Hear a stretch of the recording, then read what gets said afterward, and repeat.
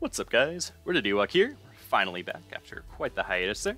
First off, before we get to anything else, I just want to say uh, huge shout out to like everyone that's gotten this channel over a thousand subscribers. That is insane. Um, I uh, never thought that would happen, and I can't believe it's been a year since I started this thing.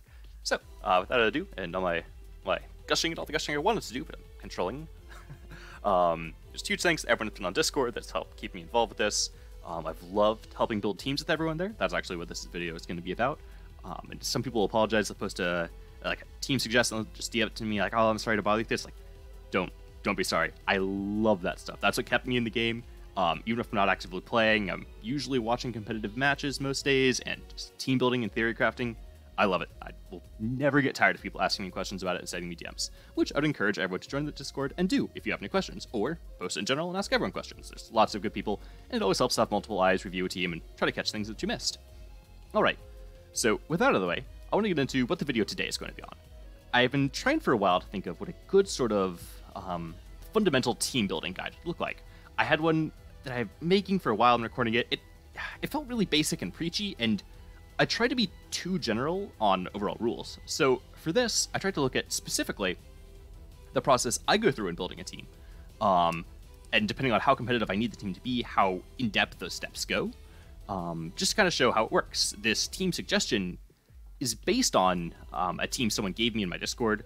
Someone uh, PM'd me this team. They said, "Hey, I'd like you to look at this." Uh, see what you think, what moves, what things go. And after a bit of a night messing around with IVs, I ended up switching one Pokemon, and it worked.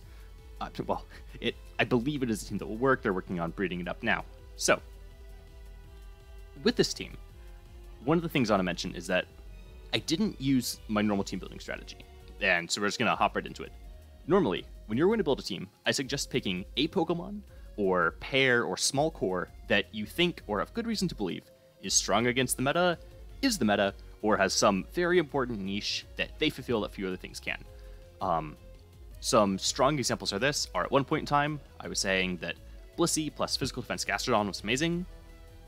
I still think that's kind of true, although I think there are better options now.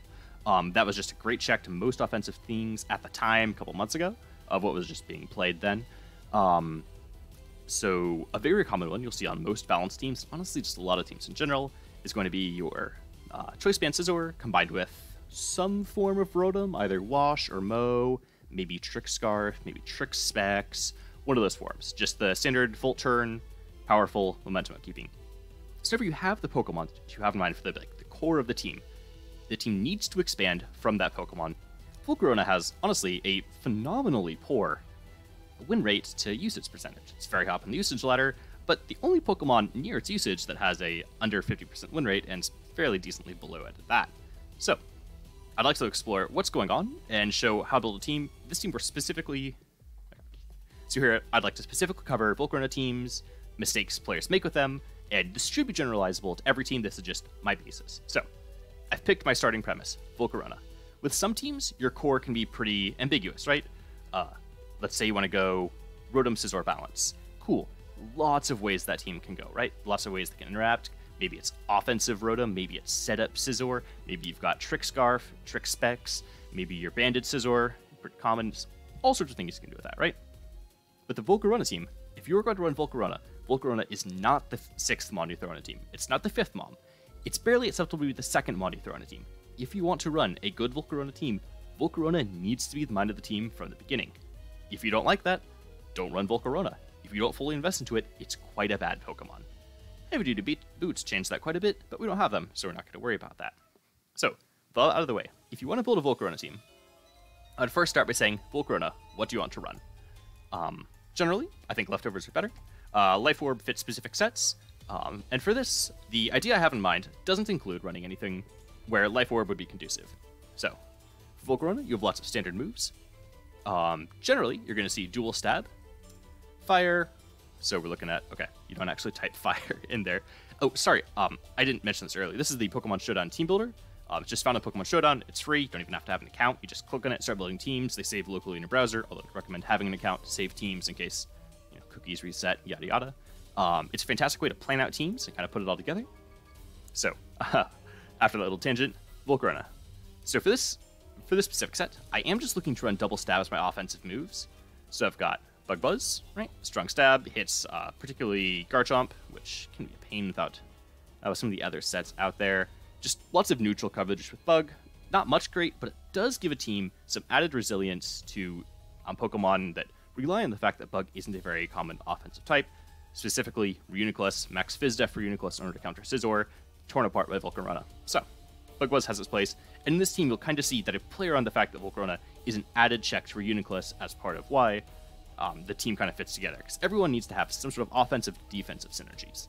So, and in some cases, a Pokemon's defensive synergy can be the fact that it offensively overpowers a certain offensive Pokemon. So, Volcarona scaring out Rotom, or scaring out Fizdef Reuniclus, is a defensive property of Volcarona, even if Volcarona itself is offensive. Alright. Try not to go off on too many tangents, but I hope they're useful. Um, and just show kind of the general process going through my head. So after Bug Buzz, I want a Fire type move. So on a load of Volcarona, like specifically uh, Quiver Dance 3 attacks, I don't really like uh, Sacred Flame. And I don't like Sacred Flame because that is not the name of the move. It's Fiery Dance. Okay, so uh, Fire Dance. I do like it on this set though, because this set, and I'm just gonna go ahead, give away the gig here. We're looking at Quiver Dance and Substitute. So, the reason I like Fiery Dance on this set specifically is because the set intends to have Volcarona set up multiple times, especially through a sub, and be attempting to beat down powerful defensive Pokemon, potentially from behind a sub, which gives Fiery Dance the perfect potential to give you the boosts. So, while generally Flamethrower is great for 3 attacks, for Life Orb 3 attacks, I actually think you're so invested in it that Fire Blast gives you some important KOs you don't pick up with Flamethrower, so you should definitely run the calcs and see if that's what you need with your team. I think that's worth considering. The reason I have Substitute is because I've been observing a huge amount of highlighter games, and in a disturbing majority of them, Substitute Volcarona fully 6-0s a team. The reason I say this is most Pokemon that check Volcarona rely on status. And with Blissey, uh, and Chansey still runs Seismic Toss, but with Blissey, the addition of Teleport into the game means that most Blissies have dropped Seismic Toss. The reason for this is the addition of Teleport meant that Blissey's effective move pool shrunk. Having Teleport's amazing, but you always need a healing move, either Wish or Soft-Boiled, you know, depending on which route you're going.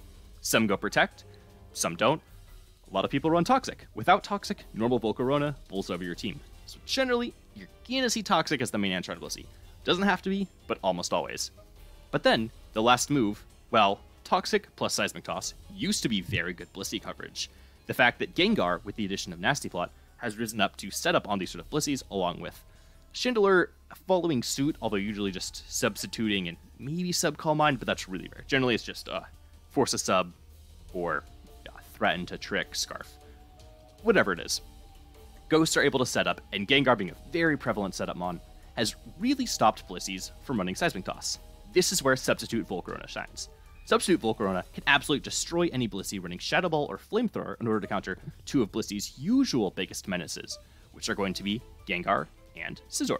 So, this set preys upon the fact that Volcaronas are generally assumed to run away from Blissey. So, a Volcarona set that can come in on Blissey, substitute on the turn where Blissey attempts to teleport out, and then start Quiver Dancing up can quickly sweep a whole team. While you do lose the coverage of either Hidden Power Rock or Giga Drain, potentially Psychic or Hurricane, I think are the, the four main options for your fourth move on or your third move in Volcarona outside of Quiver Dance. Um, I think that on this set, it's definitely worth it because a lot of teams, the amount of boosts you can get and the protection behind the Quiver Dance or the protection behind a substitute is invaluable. So here, um, I would go. What's the recommended? Actually, yeah, this is I said I agree with. So this is a very fairly lazy EV spread, and when I say lazy, I mean that I don't actually know what I need. Maybe to hit a certain leftovers number, I do this, or whatever. This is set for level 100. Uh, you can calculate yourself for level 50. And what do I mean by a leftovers number, uh, which means a number divisible by 60. So, leftovers, if you're not familiar, uh, heal for 1 16th of your health.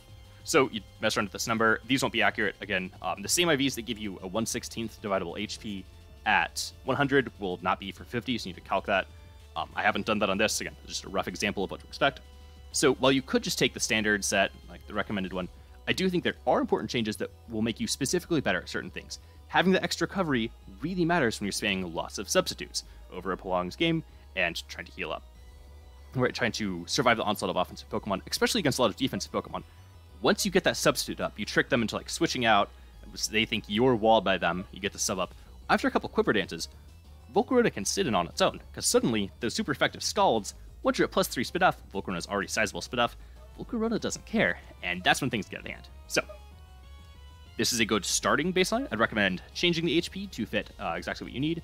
There are some other options, like let's say you really, uh, you really need to outspeed a certain Pokemon, or you know that at plus one modest, you know, you're not outspeeding Salamence, right? Like you're not going to try to speed tie Salamence because what if Jolly? So, if you're not going to risk it, then you probably don't need to be max speed modest, right? You can you can move this to whatever you decide you need to be fast at, or whatever at plus one you're fast. So let's say I just really want to be faster than Gengar at plus one. I could probably get away with something like this, honestly. It it really depends what you're going for, but that's what I'm saying. This is a good baseline set, but you should adapt it further.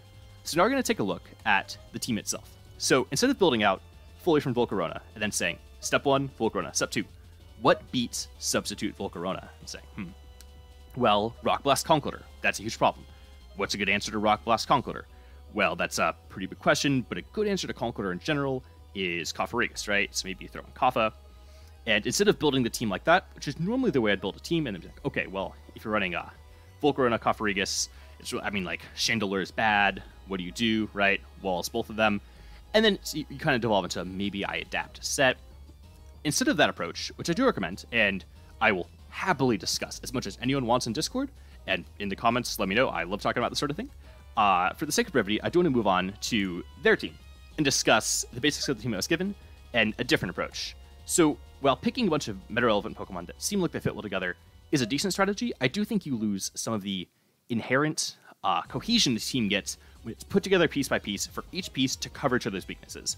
That being said, I was able to keep most of the pieces of this team intact while forming a cohesive team that really focuses on abusing momentum gaining moves to always keep your rocks at, keep your opponent's rocks at bay, toxic important targets, land unexpected KOs, and set up for that all important Volcarona sweep. The one main issue with this team, I think a lot of it is well put together, but you do not have a fighting resist outside of Volcarona, and Volcarona is not a fighting resist. This leaves us with a conundrum. I do not think you can run a team without a fighting resist with Conkeldurr in the game. If you are max physical defense Garchomp, max defense Rotom, Pharaoh, Blissey, you're freaking Volcarona, and max defense Scizor, maybe. But why? Just run something that deals with it. Um, a lot of great options. Again, we're thinking Reuniclus, although I don't really think that synergizes where I want this team to go. So, I went with, as I hinted to earlier, Cofagrigus. So now I'm going to jump ahead. This is the team I was given. I'm trying to think of synergies. And then I went ahead and kept as much as I could while trying to keep the core idea of the team and changing only what I had to. Um, I still think that this team works just as well as a team built, you know, fully from the ground up. I think that the Pokemon he put had had like very good synergy in mind, and I tried to amplify that with all the decisions here. A lot of these sets are not completely standard, and I'm not saying that, for instance, the best Garchomp set is uh, max speed and Spadef mixed HP Chomp with uh, Rocks Toxic, but for this team, I feel like it is the best set suited to achieve this team's specific goal. So don't look at this and say, oh, okay, so I should be running Garchomp like this. Maybe if you're running this team, but again, really depends on what's going on. So we're going to start with the basics. The core concept of this team was, again, first, abusing momentum to keep up pressure and force holes my opponent's team for Volcarona to take advantage of and sweep. Second, to abuse powerful defensive pivot Pokemon who cannot heal themselves. Cofagrigus and Rotom are usually limited by the fact that, while quite bulky and having great utility and actually decent damaging moves, they can't really heal. Rotom has Pain Split, but, you know, that's kind of cheating it at best. Cofagrigus, while it wants to run Helmet, if it runs Helmet, is just sitting there until it dies. Wish Toxic Blissey, or Wish Teleport Blissey was my answer. I think Teleport Blissey is insane in general, and Wish Teleport is truly incredible, especially in teams like this, where you can abuse multiple Pokemon's defensive capabilities to their fullest without having to deal with the nasty downsides of them not healing in and of themselves. That being said, I tried to make as much of the team as resilient as possible to hold out and wait for the chinks in your opponent's armor to appear, to pounce upon them and exploit the Volcarona sweep. With the other moves on Blissey, I think Toxic is very important, as I have no intention of losing the Volcarona myself, and I think this covers quite a lot of Pokemon. So, a lot of defensive Pokemon outside of Blissey are actually quite afraid of Toxic. Why? Because no amount of healing will beat Toxic in the long run. Blissey and Chansey are of course immune to this as they have natural cure, so against other defensive Pokemon, Toxic Blissey is actually a good uh, a good answer. Wish Teleport, again, heals your other defensive Pokemon, allows a much more aggressive style. And for the last option, I'm not set on Shadow Ball. The reason I have Shadow Ball here is that while Cofagrigus is actually set up in a way that is supposed to, in a sense, trap, but definitely handle the threats that Gengar and Chandelure pose to a team like this, it's not perfect. Cofagrigus can't switch into Shadow Ball and then survive the next one and hit back. That's just not a realistic thing Cofagrigus can do. So, while Cofagrigus is meant to deal with that threat, I still think it's threatening enough that Blissey running Shadow Ball covers a lot of your bases. There are some things this leaves open, of course. Uh, this Blissey, not very good against Taunt or Tox or Taunt or Substitute Gengar. Now, most Blissey aren't, but give and takes. Um, potentially some fixes, as I have looked over this team in the long run. It doesn't have the best Gyarados coverage, so I think there is certainly an argument to be made for potentially um, Rotom Wash, in the, or sorry, not Rotom Wash, for potentially Porygon 2 in the case of Blissey, and adapting to see where that goes. All right, I'll try to be a little more quick with the rest of these sets that aren't too unorthodox. So for Blissey, um, this was set to be a leftovers number. Um, I, I don't know why it was just floating around. It may or may not be accurate. I may have said it for 100. I think I said it for 50. But of course, check yourself. Um, then with EVs and Nature, I just went Calm Defense. I do want to touch on uh, Nature's right now. So you have two stats that you want on Blissey. You want defense, you want HP. Or you want defense, you want Spadef with such a high HP stat, uh, each point of defense is just significantly greater than a point in HP in terms of how it defends you. Just multiplication, um, six times six is always more than five times seven, right? So the closer two things become to each other, the better it is. So increasing your HP when the HP is already the higher number is going to do less than decreasing your increasing your defense when defense is the lower number. I hope that makes sense. That's the idea here is that while I want Blissey to be able to hit tank defense and Spadef, Giving Blissey a Spadef nature increases the already massive base Spadef. Giving it a defense nature gives me 10% more of 10. It's not exactly all just based off base stats, but the idea is that if I wanted to, achieve these same stats, right, it's 403 defense and this one 403 Spadef, 119 defense, you cannot do that with a defensive nature. You can argue that a defensive nature is more important for certain things, and that's certainly true. There's a reason to change natures, and the reason to change natures from the nature that gives you the most stats is because you need a specific thing that that nature does. The best example I can think of this is when I made the video with Substitute, Swords Dance, uh, somewhat bulky Excadrill. In the set, I needed Excadrill to hit a certain speed, I needed to hit a certain HP threshold to survive, uh, to have it sub specifically survive Blissey's and Chansey's Seismic Toss, and more importantly, for uh, Dusclops and Cofagrigus, which were seen a bit more back then. I just wanted to be better safe than sorry. It was to survive their nightshades so that I could easily avoid the will-o-wisp withering away. So, in order to hit those stats, I then had the leftovers I could dump into uh, attack and a little bit of defense. The thing with Excadrill is you have much higher base attack than speed. So while I did hit all the required stats with that, as someone pointed out in Discord in a DM, which is very nice of them, but again, if I'm doing and saying something stupid, like it's it's not going to hurt my feelings. Just post it out there in the general Discord and be like, hey, uh, you are wrong. There is a better set and that's great. Everyone should see that. Um, and then we can all talk about it. So, they are, of course, perfectly correct. I was using the wrong nature. I was running Jolly. I was running the false assumption that Jolly was necessary to hit what, uh, the stats that I needed. Well, it turns out, because Excadrill has such a higher base attack, it was objectively better stats-wise to go Adamant. I achieved the exact HP I needed, I still hit the speed I needed, and I just had higher attack overall. It is an objectively better Pokemon. There are reasons to run Jolly Excadrill, if you need to hit a specific a specific speed for your team that Adamant cannot hit, then you need Jolly. If you are not going for a specific speed you cannot hit without Jolly, it is just worse, stat-wise speaking, than going Adamant. Um, again, I hope that kind of makes sense. It's a general principle where if a Pokemon has better base stats in a specific stat, and you don't have a like concrete, like calculated reason why I need this stat to be at this point, which does not naturally reach, then, to be honest, go with the nature that increases the most stat. More stats on your Pokemon are just overall better. Now, I'll touch on Cofagrigus because it was important with Blissey. This Cofagrigus set is a bit interesting, I will admit. Um, this is not as much of a lazy set. So, what this Cofagrigus is supposed to do is set up Toxic Spikes to wear it on defensive Pokemon. It's knockoff, once again, cripple defensive Pokemon. The whole point of the team is crippling your opponent's defenses to where Substitute Volcarona can sweep on through. Then you have Will-O-Wisp, help me handle physical attackers. This could potentially be changed, maybe even to Pain Split. Um, oh, I goofed up earlier when I said Cough didn't have Pain Split.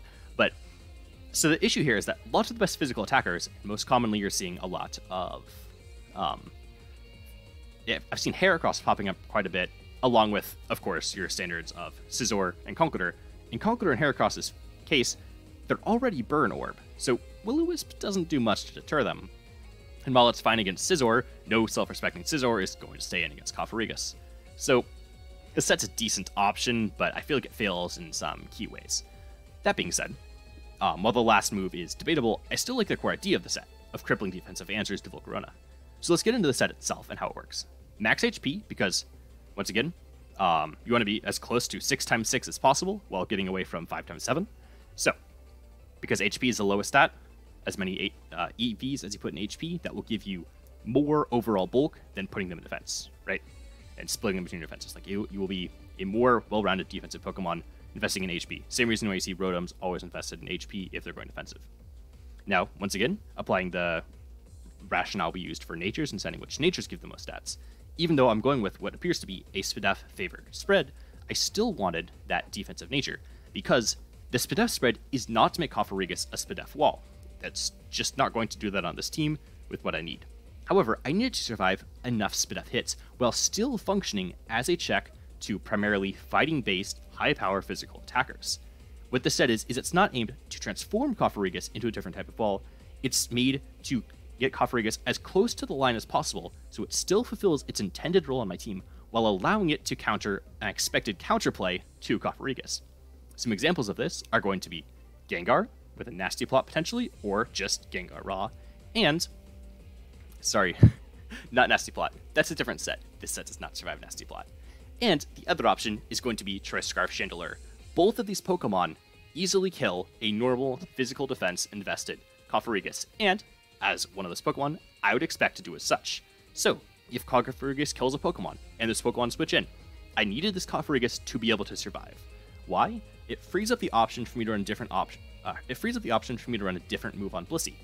I could potentially condense this down to one role and turn Cofagrigus all into physical defense, just rely on uh, my Shadow Ball Blissey, but I felt like spreading that rollout across the team was more important and allowing me to trap a Pokemon, especially taking out Chandelure, is incredibly important for Volcarona.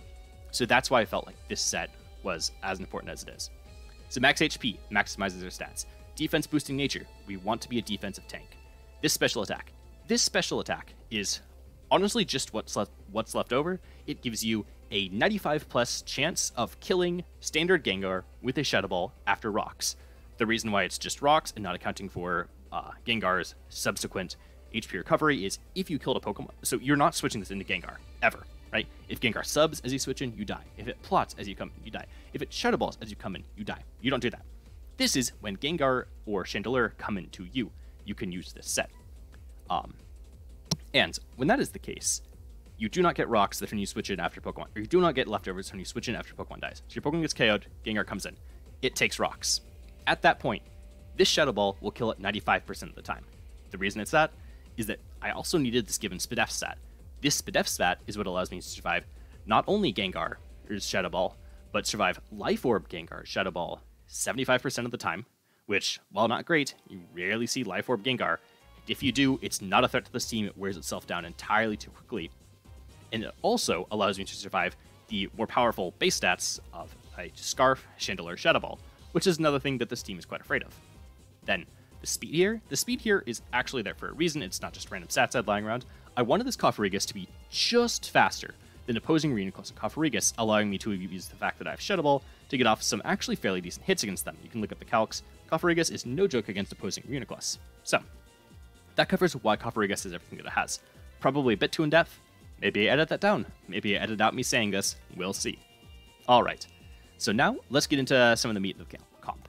Once again, another set that is, of course, not unique to me. I'm not going to claim to have invented Spadef Garchomp, but a set that you don't see too often and I think is actually fairly useful on this team. So this Garchomp set isn't meant to be the main offensive pressure of the team. In fact, it's not meant to provide much offensive pressure at all. It's meant to get Stealth Rocks up and keep them up. What Pokemon want to get rid of your Stealth Rocks? Well, Mandibuzz is a fantastic answer to Garchomp, fantastic rock remover. Okay, Toxic that. We don't want to deal with that.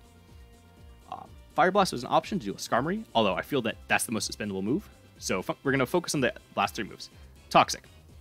Great for getting those defensive Pokemon that to remove your rocks. Opposing Rotoms, Toxic. Now they're on a timer. They can come in, switch into your rocks, get rid of your rocks, but they're Toxic. Uh, Stealth Rock, once again, you need to keep able to use it as much as possible. Earthquake, very important to threaten out Pokemon. Another reason why this Garchomp is here is that by having Blissey not have a direct answer to opposing substitute Volcarona, I don't want to get swept by my own sweeper. This Spadef Garchomp allows Garchomp to always live a plus one Life Orb Volcarona Bug Buzz. Most likely they're not Life Orb, but I still live it just in case. Now you would say, Life Orb substitute. That doesn't make any sense. And, um, you're right, but I just want to cover my bases. Let's say something has already happened to Blissey, I needed to sack it at some point in the game. Volcarona gets a plus one. We find out it's Quiver Dance. Like, we find out it's Life Orb. This is also important because it allows you to stay in on lots of Rotoms that you normally have to switch out from. Um, suddenly, Rotom's Hydro Pump is really more of a nuisance than a threat to Garchomp, and lots of Pokemon's Hidden Power Ice are going to threaten it. Another key reason why I value Spadef Garchomp on this team is that it's able to stay in on Tentacruel, eat its Ice Beam taking 60% or something ludicrous from a Tentacruel Ice Beam, Earthquake is there to help deal with Tentacruel. Tentacruel is another one of the big problem Pokemon for Volcarona. By offering up Garchomp as a tasty prize, look, I am leaving Garchomp in against your Tentacruel. Slurp it up. You can hopefully bait the Tentacruel into getting hit by the Garchomp. Alternatively, if Tentacruel senses the gig is up and switches out, they haven't spun away your rocks. It's a win-win. Garchomp achieves its purpose of keeping up rock pressure and keeping opposing spinners and Volcarona checks at bay. Now, let's move to Scizor. This Scizor set is fairly boring. Um, sorry, this is an HP number for lefties. Uh, you're running lefties because you want longevity, and of course, if you do have to block a big hit, Wish Blissey. Okay, for Scizor. The reason this Scizor is here is that I really just felt that I don't know. There's something about Banded Scizor that just feels right. Banded Bullet Punch is a fantastic cleaning move. Lets you stop uh, a worst case scenario runaway Cloyster, right? smashed too many times, and now you really have no way of dealing with it. Bullet Punch Scizor, here to save the day. Banded U-Turn, fantastic pressure move. Um, it's also part of my strategy of dealing with Pokemon like Reuniclus. It doesn't beat it on its own, but fairly nice. Pursuit, not as many people expected as they should. Lets you get rid of some pesky ghost types, especially Pokemon that lock themselves into a certain move. Um, once you find out that specifically maybe a Chandelure is Scarf after it goes for a Shadow Ball, Bring in Scizor, remove the threat, Volcarona sweep, easy peasy. Superpowers here, um, just because it threatens lots of Pokemon. I honestly don't think it has to be. Um, and while setup Scizor could be an option on this team to give you two setup options, one physical, one special, I actually I'm not ruling that out as a bad idea at all. Um, I think Aerial Ace is actually another good option here to beat down beat down some pesky Conkeldurrs. Not needed, just an option. Uh, superpower generally is meant to handle Pokemon like Ferrothorn, but Ferrothorn in this case is just setup fodder. It is Volcarona loves opposing Ferrothorn on this team, which is why I think dropping Fire Blast from Garchomp could be ideal. So, the standard Scizor, run your favorite Banded Scizor set, run your favorite other Scizor set. The most important part is it keeps up momentum with U-turn and gives your team priority pressure. Having a priority move somewhere on your team is important, especially if it's a powerful one. There's a reason Scizor and Conkeldurr are two of the most used Pokemon because not only are they good Pokemon just within their own spheres, but they bring uniquely powerful priority moves that benefit any team. So, we've got that out of the way. Then, let's look at the second class member of the team. You've got your Rotom Wash. Defog, Volt Switch, Hydro Pump, Protect. So, with this set, what I really needed Rotom to do is I'm looking at the teams that could be detrimental to this team. Um, for Rain, well, I mean, no amount of Kingdra is realistically going to break through uh, Calm Spadef Blissey. So, what's the next threat? What about Kabutops? Cofagrigus, as great as it is, isn't great against Kabutops. In the rain, you can't switch into a waterfall. You're dead. That's where Rotom Wash comes in. I need Rotom Wash to do one thing, and a couple others, but mainly stop Kabutops from sweeping my team. Volcarona is awful against Kabutops, and I need to make it so every time you bring in Kabutops, not only am I blocking it with Rotom Wash, but I am then threatening to use Volt Switch to get more pressure on your team.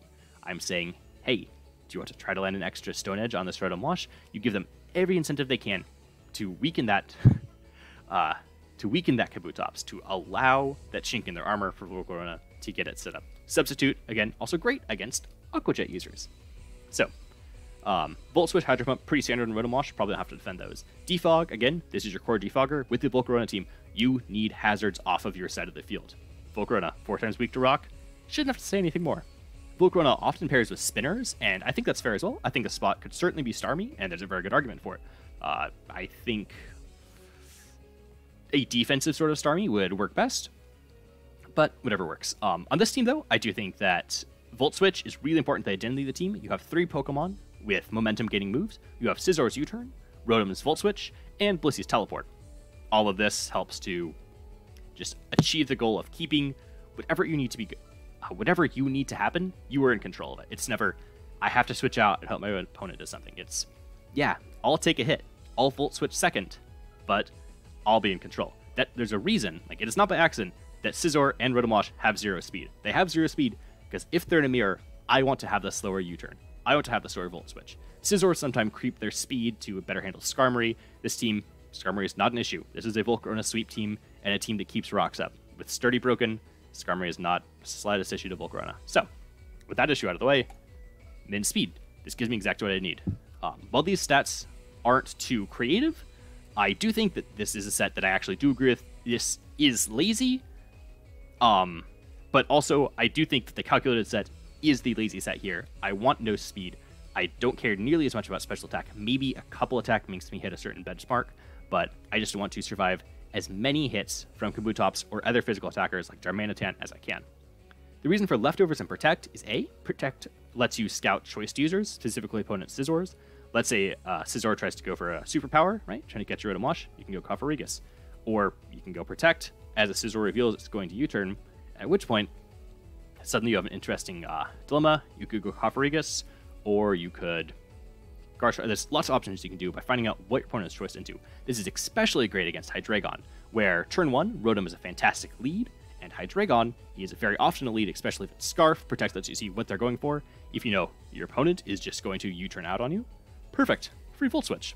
If you know they're going to stay in and hit, perfect, free Blissey, and then teleport after that. So this team gives you all of the pivots you could possibly want, and allows you to keep up pressure. Um, Protect also serves the added bonus of allowing Rotom Wash an edge in the Conkeldurr War. Conkeldurr is usually quite good against Rotom Wash, uh, because although Rotom Wash is bulky physically, Conkeldurr just does absurd damage. However, Protect allows Rotom Wash to go up 12.5% in the HP War every time it uses it. The way this works is especially if it's a burned Conkeldurr, Conkeldurr loses 12 or loses 6.25. You gain 6.25 by protecting on that turn. So even though you just protected, you did nothing, now you're up 12.5%. So you have the ability to scout choice Pokemon, the ability to just scout movesets in general, find out if they are running that secret gas move, if Gyarados really is packing power up and you need to panic. Um, I would always rather have the ability to scout for something like that than just lose my Rotom Wash. And if Gyarados is packing power up, you've kind of kind of got to play around. I think uh, Rock Slide Garchomp is something I might heavily consider because you're really not going to see Power Whip plus Ice Fang plus Waterfall. And, you know, kind of hope that's enough. All right, so that should cover the rationale for this Rotom set. Finally, Volcarona, of course, lefties, Flame Body, Sub, Fiery Dance, Quiver Dance, Bug Buzz. Modest, because you're looking to set it multiple times. Timid's main advantage is to be able to outspeed, like, Scarf Timid Hydreigon after a boost, or Timid Hydreigon without a boost. Uh, that being said, I think that I would certainly prefer, especially if I was running a Hydreigon set, to run Modest Hydreigon. So I don't think that's a use scenario that's even too important. Now, as I said, you could probably drop some of this to get some more bulk here, or uh, maybe even Spadef bulk to live Scalds from defensive Pokemon and keep your subs up longer, you know, Shadow Ball Simplicity, whatever it is. All right, so this kind of shows how I'd adopt a team from scratch. This shows what you do. You'd start with, all right, what do I want to accomplish? I want to sweep someone with Volcarona, or I want to use to put huge holes in opponent's team. All right, what does this Volk set do? All right, I want to run Sub Volk because I think it beats this. Great. This set does not beat every Pokemon in the game. what Pokemon beat this set? I don't know, Rock Blast Conkeldurr, you know, lots of others. Cool. We're going to put in the Pokemon place that stop those Pokemon from doing their thing. And then you just expand out there, like, okay, now I've got these two Pokemon, but you lose Chandelure, etc. So, a little bit of recap. Just looking at a core of Pokemon that are known to do well. You have, of course, your uh, very prominent Rotom plus Scizor combination to keep up momentum. I prefer to think of it as Rotom, Scizor, Blissey now. I think that they're incredibly potent three Pokemon momentum team. Then you have your uh, your win condition, Volcarona, and you have Garchomp. I think Ferrothorn is a decent idea, as this team really does enjoy hazards, but I feel like you are you too crippled and too weak to physical attacks, specifically fighting type attacks, to run Ferrothorn on this team. So, finally, and trying to cover every Pokemon's weakness, trying to cover all the specific answers to your team, this is what I've come up with. Certain spreads, certain sets. Hopefully, I've explained rationale of why I do this. I would like to show this team in game, and I've been making an absurd amount of money from the Lunar event, so I actually should be able to breed up all these Pokemon. By breed up, I have all of them, but I should be able to rebreed them to what I need. Pokemon, please add an item so that we can change natures. Please, just make it like an ability item. So you've built your team. You've gone over what you think is important, what you think counters the Pokemon that are out there. Now, you need to pull up a list of the OU Pokemon and look at it. Number one, Tentacruel. Does this team handle Tentacruel? Well, Volcarona, especially after enough quiver dances, is pretty easy or is pretty easily able to shrug off most special attacks from Tentacruel. However, Haze Tentacruel would be a big problem. Garchomp is there to attempt to lure in Tentacruel, while Rotom Wash aims to chip it down, and Scizor can use Pursuit against Tentacruel, because again, Scizor getting burned for the greater goal of chipping down a Tentacruel that cannot recover is certainly worth it. Using Garchomp to force Tentacruel to continually switch into rocks also something this team aims to do. Then, okay, that's fairly decent enough answer to how you beat Tentacruel. So, how do you beat Cloyster? Well, high reliance on getting up rocks, max physical defense Rotom Wash, a Cofagrigus, a Garchomp. Scratch that. Garchomp, not a good answer to Cloyster. Um, Volcarona, however, an amazing answer to Cloyster. If rocks are up, Cloyster trash Spadef, tears right through it. Not the best. I'm gonna be honest. Team could have better uh, could have better Cloyster insurance. However, full defense, Rotom Wash, very good. All right, Gengar. I feel the team is very adequately created to cover Gengar, to cover most common sets. Uh, while Trick Scarf isn't great, having the option of Cofagrigus against a potential Trick Scarf as they predict you to switch Cough into Blissey, I think pretty important. Um, Blissey with Shadow Ball, Cofagrigus with the Anti-Ghost set should cover it. So I've gone through this list with functionally every Pokemon on here. I feel like I have decent answers to most all the meta can throw at me. And after you've looked at each individual Pokemon and say what to do about this Pokemon, you have to examine what to do about this Pokemon in this situation. Well, sure, it's easy to say, okay, uh, Blissey beats Gengar. Cool. There are lots of Blissey sets, or are lots of Gengar sets that Blissey can't actually handle. Or what happens if Blissey is up against a Rain team with Gengar? It's been chipped by having to switch in to a, let's say, rain boosted Hydro Pump and teleport out. Now suddenly, it doesn't handle Gengar. How did your team handle those situations? And the answer is that there is no perfect team. There will be no team that always handles every answer in every situation, except for Trapping Rain. That team was broken. I love it, but I'm so glad it's gone. So, that out of the way, how do you deal with these situations? You try to minimize them as much as possible. You try to have as many redundancies as possible. Sure, Scizor is a pretty good answer to Reuniclus, uh, but Volcarona, also a good answer to Reuniclus. Blissey, Shadow also a good answer to Reuniclus. Cofagrigus, also a good answer to Reuniclus.